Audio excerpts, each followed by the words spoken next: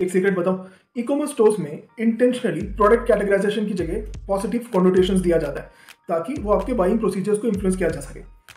इसके पीछे एक मार्केटिंग साइकोलॉजी है and we call it the framing effect just imagine आपके पास एक ही प्रोडक्ट के दो बॉटल्स हैं, और एक बॉटल में लिखा हुआ है ट्वेंटी परसेंटेज फैट इंक्लूडेड और दूसरे बॉटल में लिखा हुआ है एटी परसेंटेज फैट फ्री आप कौन सा बॉटल चूज़ करोगे? Obviously 80% fat free. The reason why you chose that 80% fat free is because of positive connotation used there. Let me explain. One of the reasons for categorizing products is that consumers respond differently to a choice depending on how it is presented to them.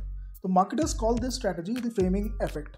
The framing effect is a cognitive bias in which people decide on options based on whether they are presented with positive or negative connotations. Example as a loss or gain.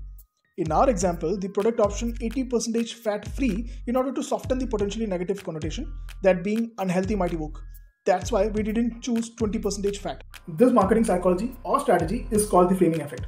Try this with your marketing website and let us know